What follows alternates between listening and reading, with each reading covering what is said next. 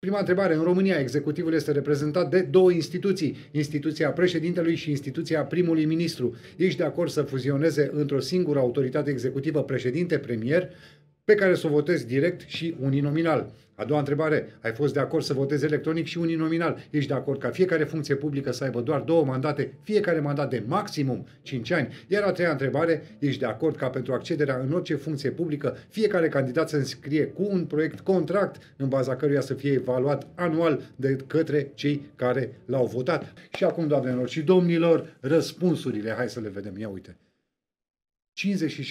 56% spun nu. Deci nu vor un hagi care să și decidă. Vor un hagi care să aibă idei, dar să nu le poată pune în practică. Vor un Claus Iohannis.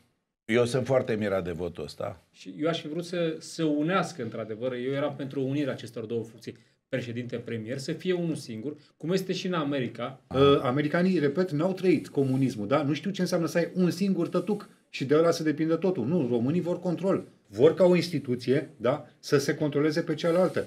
Tu spui așa, domne, românii n-au încredere în Parlament că e compromis, da? da.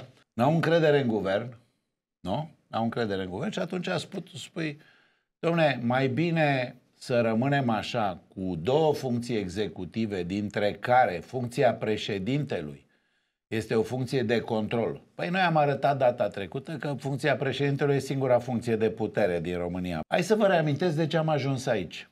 Instituția președintelui este o instituție degeaba cheltuiește sute de milioane și dacă mai pui sutele de milioane pe care le cheltuiește mascat prin SPP, care este un serviciu exclusiv în uh, serviciul președintelui, da? realizez că noi probabil cheltuim pentru aceste două instituții, nu am în cap acum, dar eu zic că ne apropiem de un miliard de lei pentru o instituție care ar trebui să fie efectivă, executivă și nu este. De ce? Ca să ne lăudăm noi uh, cu o tichie de mărgăritar numită președintele controlor. Nu e deloc președintele controlor. În cazul lui, lui Claus Iohannis a fost președintele Chiulangiu și a abandonat din prima zi, e președintele al cărui palmares este egal cu nimic. Eu cred că trebuie să te gândești, cred, îmi permit, te rog, sigur, decizia ți aparține, că într-o viitoare schimbare a Constituției către care trebuie să mergem, odată cu votul electronic, cu uh, votul un, un, uninominal, noi trebuie să ne așezăm după modelul american singurul eficient. Evident că asta înseamnă că Parlamentul nu se alege pe listă, tu ai spus-o. Vrei să-l alegi direct. Evident că asta înseamnă, da, că funcțiile principale executive nu se aleg pe listă și în primul rând președintele, da? Dar cel mai important lucru este următorul. În momentul în care vei alege direct, nu va mai fi președintele arbitru, vei fi tu arbitru.